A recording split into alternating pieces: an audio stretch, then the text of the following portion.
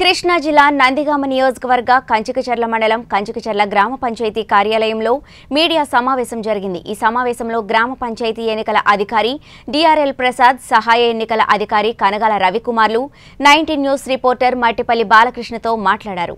కంచికచర్ల గ్రామ పంచాయతీలో ఇరవై వార్డులు పదహారు వేల నాలుగు వందల ముప్పై రెండు ఓట్లు ఉన్నాయని వారు తెలిపారు. అన్ని బూత్లలో బందోబస్తు ఏర్పాటు చేయడంతో ఓటర్లు సజావుగా తమ ఓటును వినియోగించుకుంటున్నారన్నారు.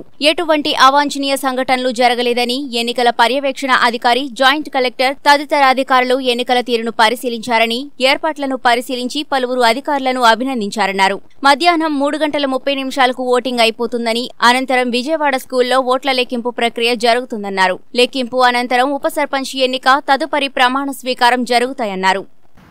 ఎన్నికలకి మనం కోవిడ్ నేపథ్యంలో జరుగుతున్న సందర్భంగా కోవిడ్ జాగ్రత్తలు కూడా తీసుకోవడం జరిగింది.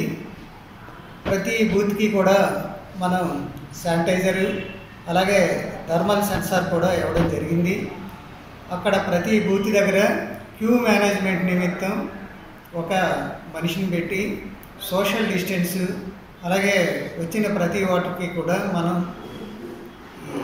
శానిటైజర్ ఇచ్చి వాడికి జాగ్రత్తలు తీసుకోవడం కూడా జరుగుతుంది.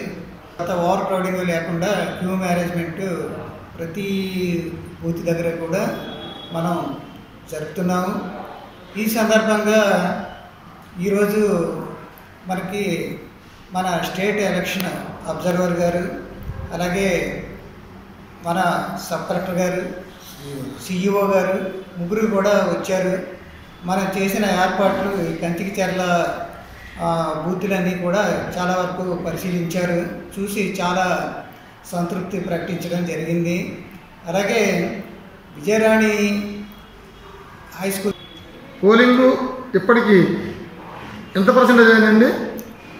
యాభై మూడు శాతం అండి. మధ్యాహ్నం పన్నెండు గంటల ముప్పై నిమిషాలకి మనకి కంచికిచర్ల గ్రామ పంచాయతీలో ఇరవై వార్డులకి కూడా దగ్గర దగ్గరగా యాభై మూడు శాతం పోలింగ్ జరిగింది.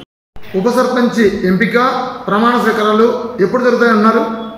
ఉప సర్పంచ్ని కౌంటింగ్ అయిపోయిన వెంటనే ఉప సర్పంచ్ ఎన్నిక ఎల- ఎలక్షన్ కమిషన్ నియమాల ప్రకారం పంచాయతీరాజ్ చట్టం ప్రకారం అదే రోజున ఉప సర్పంచ్ ఎన్నిక జరగాలి. ప్రమాణ స్వీకారం అనేది ఎలక్షన్ కమిషన్ ఒక డేట్ ఇవ్వడం కానీ సాధారణంగా జరుగుతుంది. లేదంటే గెలిచినటువంటి ప్రజాప్రతినిధులు తమకు తెల్లారు తెల్లారి కానీ తర్వాత రోజు కానీ తమకు అనుకూలమైనటువంటి ఒక రోజును సూచించినట్లయితే ఎన్నికల అధికారులుగా మేము వారి చేత ప్రమాణ స్వీకారం చేయించడం జరుగుతుంది.